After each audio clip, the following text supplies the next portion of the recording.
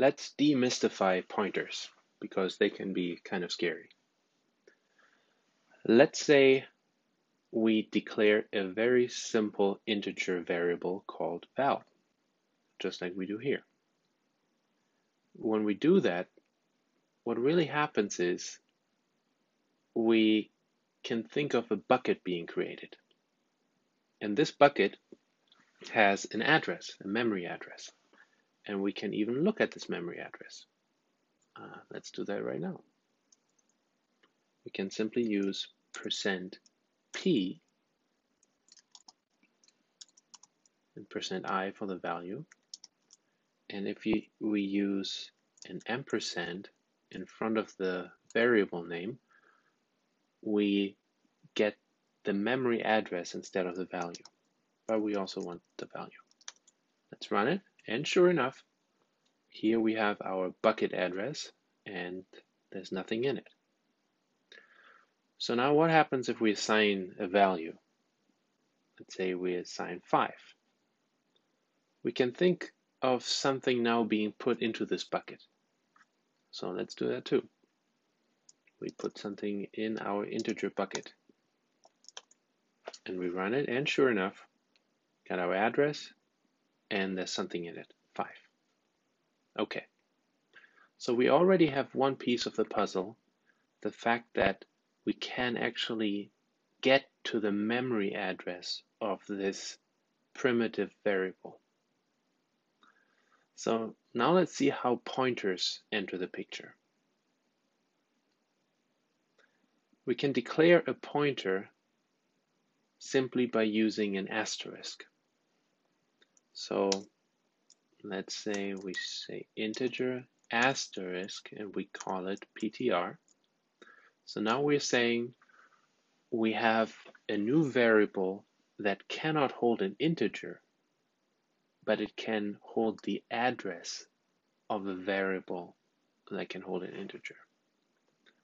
So all that happens is we're really creating another bucket. And that bucket in turn also has a memory address. And we can look at that too. So let's copy this line. And we cannot use i here because the value that's stored in this second bucket is not an integer, but it's another address. So all we have to do now is say ampersand ptr and ptr. Let's run it.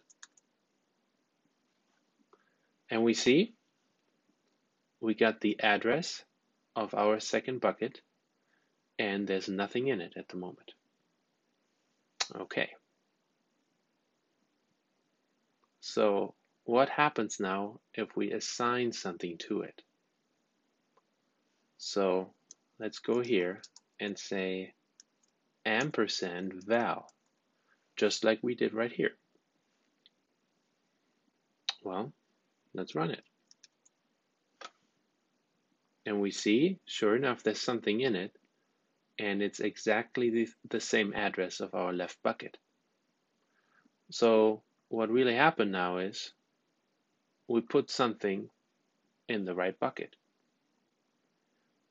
And this is the same address as our left bucket.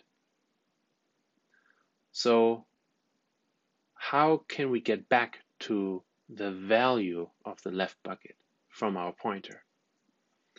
We can do that simply by using a technique called deep dereferencing. So we got our pointer, and now we use the asterisk to dereference it. And because now we get an actual integer value back again, we have to change this to i. And when we run it, sure enough, we get 5. So pointers are not that hard. Just think of them as buckets and keep in mind that simple variables that we create are really a bucket that can hold a value. And pointers are also just buckets that can hold values, but the only special thing is that the values that they hold are other memory addresses. And that's all there's to it.